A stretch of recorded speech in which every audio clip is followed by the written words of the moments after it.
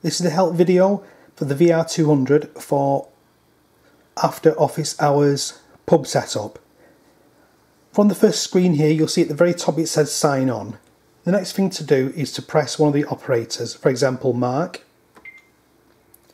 At this point you can see that you've got the products at the top, um, you've got half products, pints, you've got up and down for your pages, you've got other departments here, such as cocktails. Everything is in alphabetical order. Okay, for a normal product, for say for example uh, a draft product, you just simply press a button. If it's a spirits, for example, uh, favourite spirits here, if it's just a regular um, spirit, for example a Bacardi, you just press Bacardi and then it'll jump to the soft drinks. So you can enter in uh, Coke.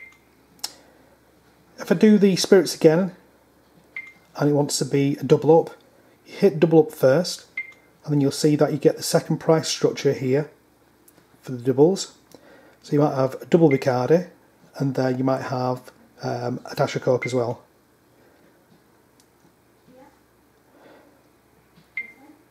Then at this point, if you're ready to serve the serve and pay the customer, if you press payment and then you press the uh, amount that it is, for example, £20. The receipt comes out at the moment, but you can switch it off.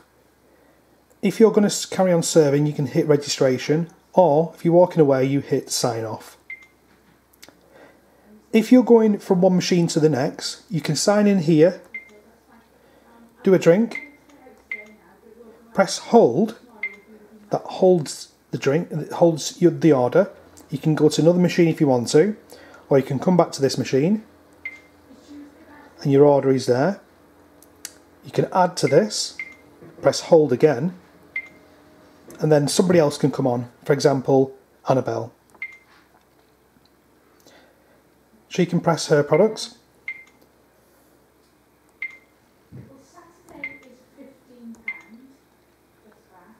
She can hold. You can come back. Your items are there. You can hold again if you want to. Annabelle can come back. She can cash it off by hitting payment. You can type in what they give you.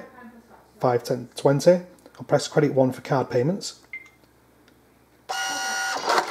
Everything is on here. You can get a receipt out if you need to. At this point you can do sign off and then Mark come back. You can then take a payment. For example £20. And these can be done between each of the terminals.